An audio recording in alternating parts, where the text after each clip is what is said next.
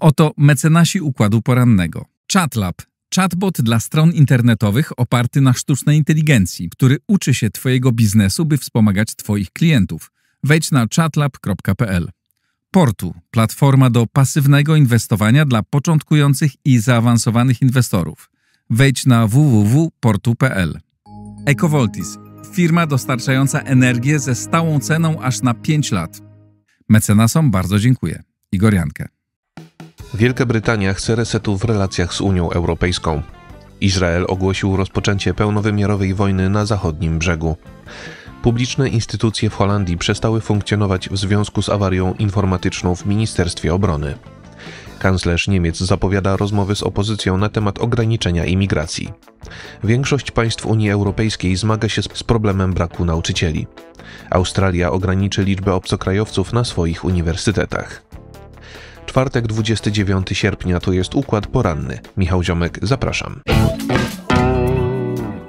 Wielka Brytania zamierza dokonać resetu w relacjach z Unią Europejską. Premier Keir Starmer zastrzega, że nowa forma relacji nie oznacza cofnięcia decyzji o opuszczeniu wspólnoty europejskiej ani powrotu do wspólnego rynku. Szef brytyjskiego rządu spotkał się w Berlinie z niemieckim kanclerzem Olafem Scholzem.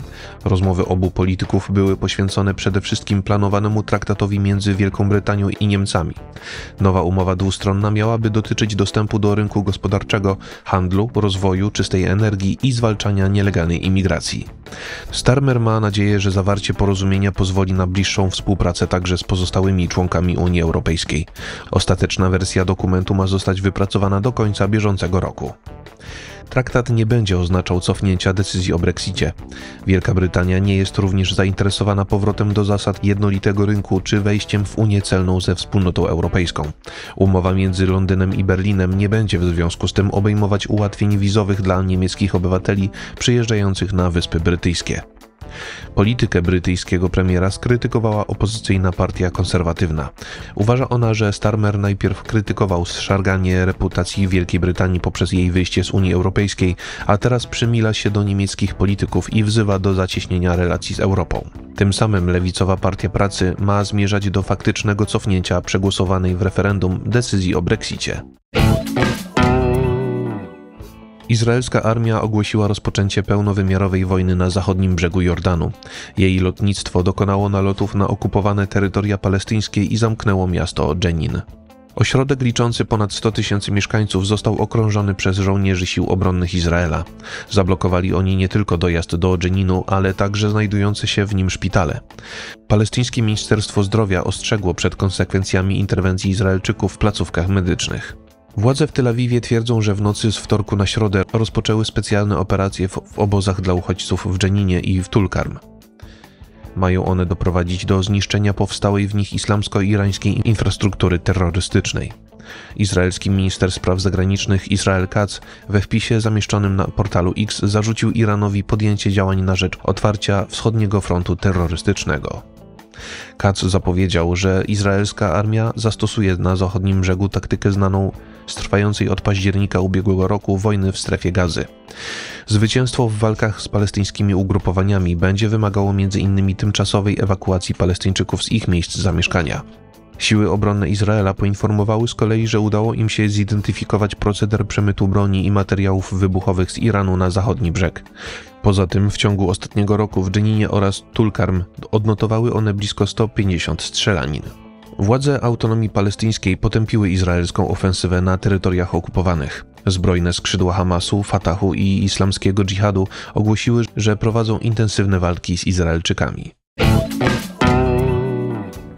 Awaria informatyczna w Ministerstwie Obrony Holandii spowodowała przerwę w działalności wielu publicznych instytucji i służb ratunkowych.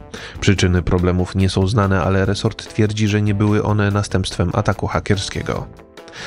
Pierwsze problemy z funkcjonowaniem administracji rządowej wystąpiły już we wtorek wieczorem. Wówczas zgłaszały je m.in. Straż Przybrzeżna, Żandarmeria Wojskowa, służby miejskie oraz Publiczna Służba Zdrowia. Zakłócenia spowodowały, że publiczne instytucje zmagały się z nieprawidłowym funkcjonowaniem swoich systemów komunikacyjnych i alarmowych. Z tego powodu nie mogły one koordynować wspólnych działań. W związku z awarią w środę nie mogły normalnie pracować niektóre lotniska. Holenderskie Centrum Cyberbezpieczeństwa nie potwierdziło pojawiających się w mediach doniesieniach o ataku hakerskim. Resort obrony również uważa, że problemy nie były związane z podjęciem wrogich działań wobec holenderskich instytucji.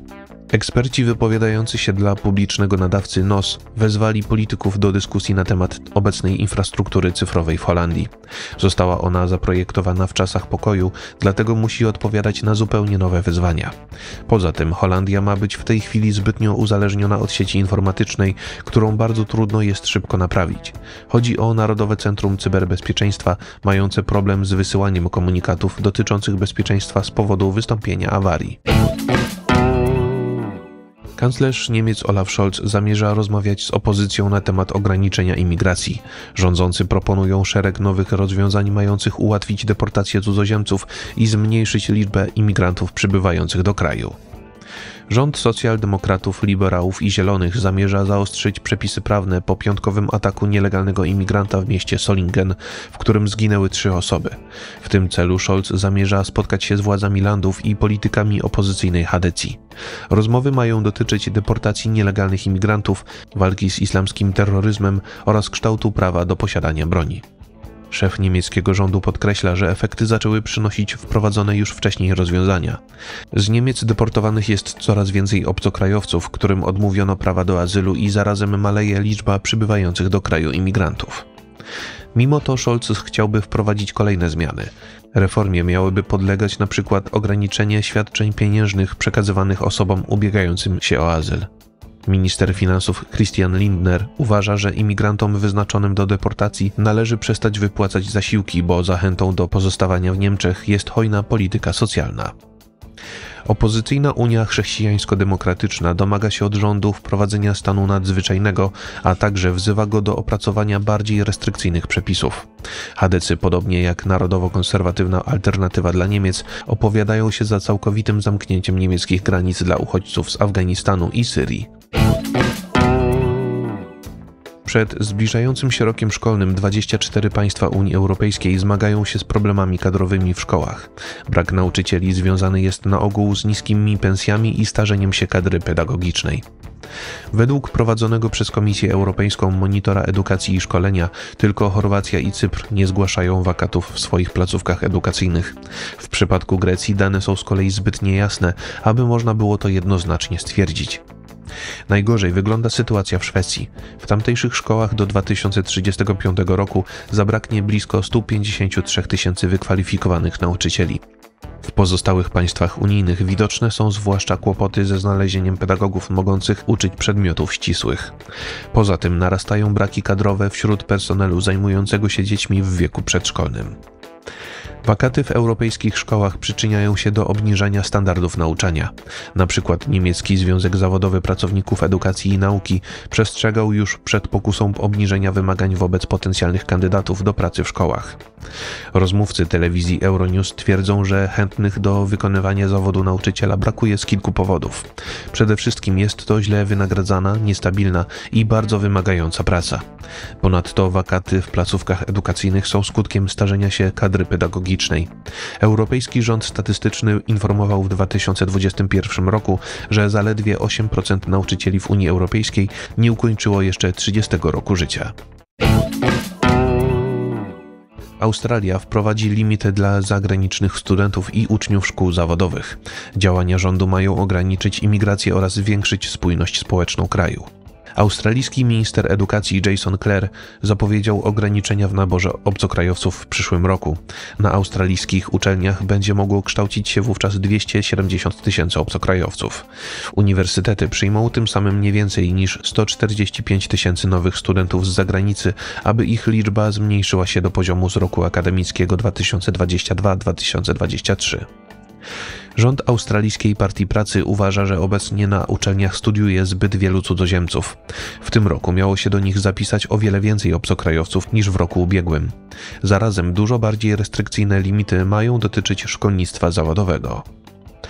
Claire nie zgadza się ze swoimi krytykami, którzy uważają, że nowe rozwiązanie będzie szkodliwe dla gospodarki i obniży prestiż australijskich uniwersytetów.